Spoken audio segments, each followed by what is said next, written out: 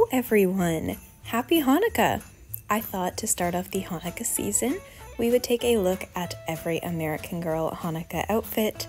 I was going to do every Hanukkah item, but I don't celebrate Hanukkah, so I can't vouch for the authenticity of things like the menorah and the dreidels and whatnot. So I thought, let's just look at the outfits and base them off of how cute they are.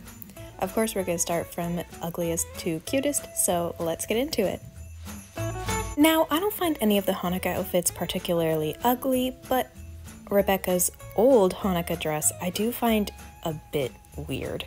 I don't like the undershirt and the way that the dress looks fitted, but then the shirt underneath looks flowy. It just looks weird.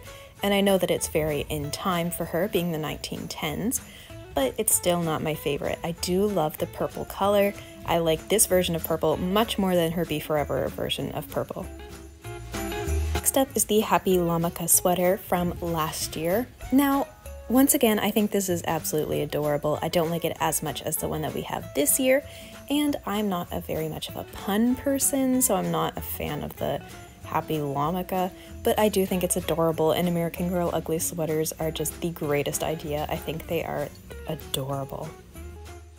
And here is this year's sweater, I Love You a Latke. I'm sorry if I'm pronouncing that wrong but I love this one. I don't know what it is about the stripes and the little smiley latke. I think it is beautiful. And I also like that you get little matching headbands for you and the doll. That is super cute. This is the Hanukkah celebration outfit and it is available now for $38. I think this is super cute. I like the subtle design with the little snowy details at the bottom. I love the dark blue and you have the little necklace with the symbol thing on it. I'm so sorry, I don't know what it's called, but I do like this outfit. I just think there are better ones and this one's just kind of basic. And $38 is a bit much, although you do get a necklace and shoes, but still.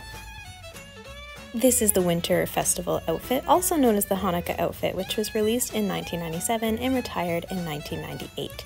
I think this outfit is super cute and it could work not only for Hanukkah but for any holiday and it's super cute. Very much that cozy retro Christmassy vibes. Love it. Now this is Rebecca's latest version of her Hanukkah dress, which I think is so freaking pretty. I've seen people use it as a Cinderella dress as well, which also it works very well for.